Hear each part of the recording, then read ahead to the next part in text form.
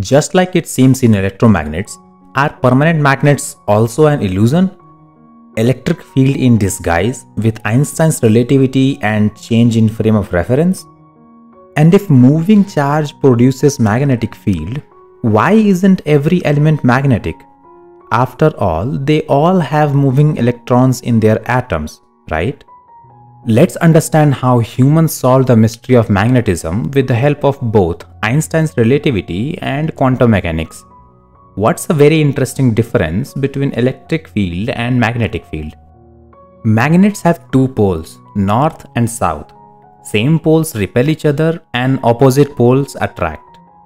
That is similar to electric stuff, but here is the difference.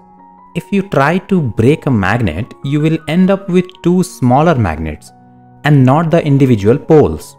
This is to say that magnetic monopoles do not exist although the topic of magnetic monopoles goes way deeper from Maxwell equations all the way to the depth of quantum mechanics. In electric stuff however, you can have individual charges.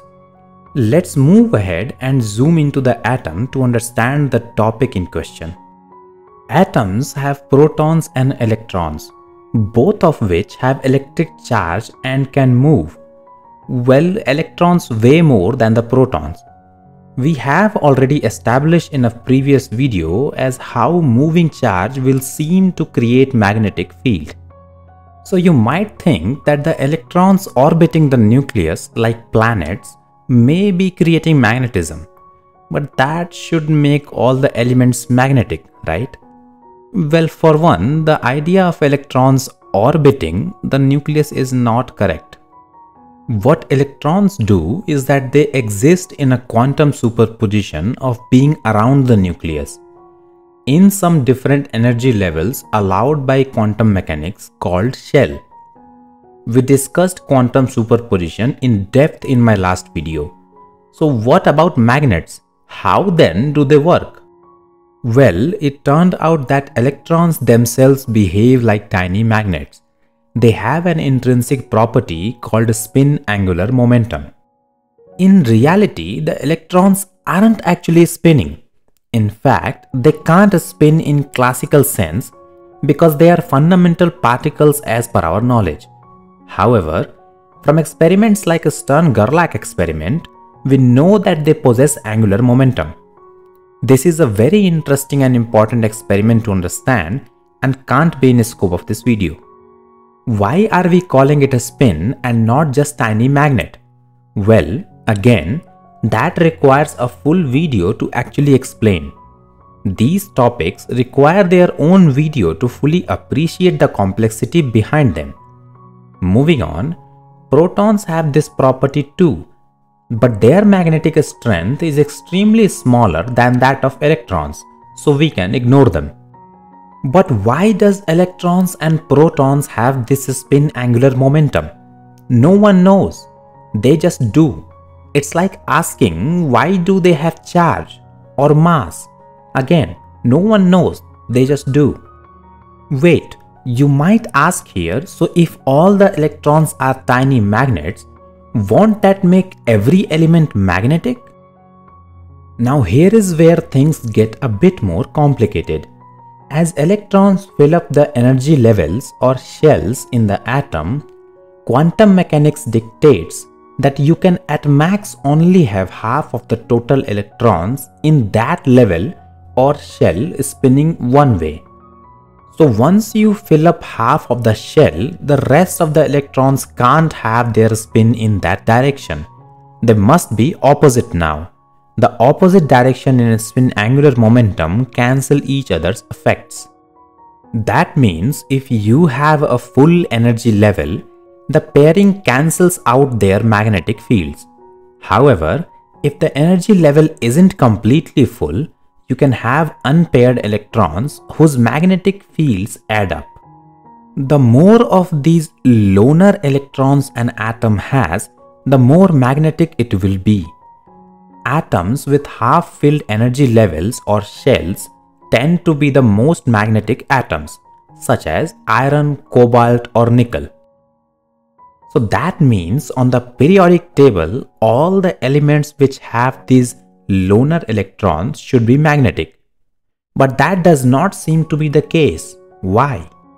Let's zoom out one level up and talk about these magnetic atoms.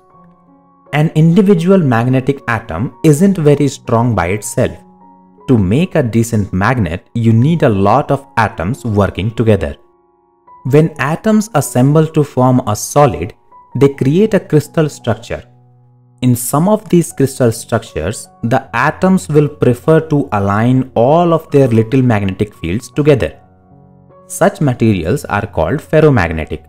Iron is a classic example. But it's not that simple. Some materials, even with magnetic atoms, are not magnetic as a whole because their atoms prefer to align in alternating directions that cancel each other out. These are called antiferromagnetic. Chromium is an example of an element that is a magnetic atom but forms an antiferromagnetic crystal and so is not magnetic. That means iron should be magnetic, right? But again, that does not seem to be the case. If you pick up any random iron object, it does not behave like a magnet. Why? Hang on with me, we are almost there. Even in a ferromagnetic material like iron, the magnetic fields don't align perfectly across the whole object. Instead, the material is divided into tiny regions called magnetic domains, where all the atoms are aligned. Each domain is like a tiny magnet, but in a regular piece of iron, these domains point in random directions and their magnetic fields cancel each other out. However, if you apply a strong external magnetic field, you can force these domains to align in the same direction. Now, all the tiny magnets in all of those domains work together, creating a bigger, more noticeable magnet. That's how you make a permanent magnet. So to sum it up, for a material to be a permanent magnet, you need these four things. Electrons themselves need to be tiny magnets, which all electrons are. These electrons need to be in atoms that have roughly half-filled electron shells. The crystal structure needs to encourage the atom to align their magnetic fields, and the magnetic domains need to be aligned. So, if you think about it, it all started from the angular momentum of electrons which are electrically charged. Basically, electric and magnetic fields are two sides of the same coin named electromagnetic force. And that electromagnetic field is fundamental part of how our universe works. Einstein's relativity showed us how electric and magnetic fields transform into each other with motion. So in a way, all magnets, including permanent ones, are ultimately caused by charges having momentum at the atomic level. But how exactly electromagnets work? Einstein's relativity has a really amazing explanation. Click on this video here to understand it. Thanks for watching.